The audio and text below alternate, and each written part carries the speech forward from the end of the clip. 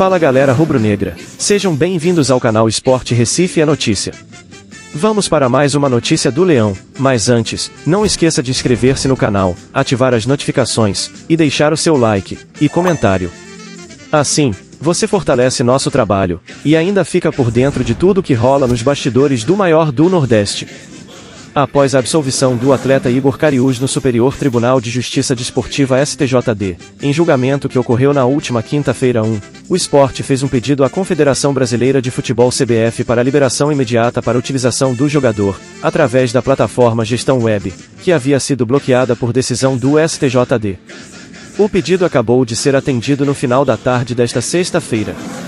Sendo assim, o jogador fica à disposição do treinador Anderson Moreira, para a disputa da Série B.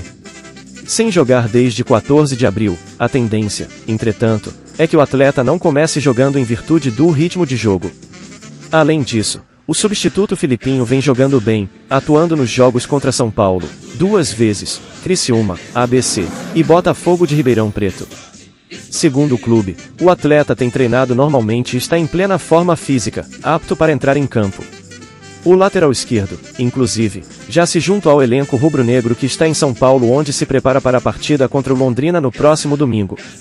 O Leão da Ilha destacou que a todo instante acreditou na conduta do jogador, que tem postura exemplar no dia a dia, mas acatou a determinação do tribunal.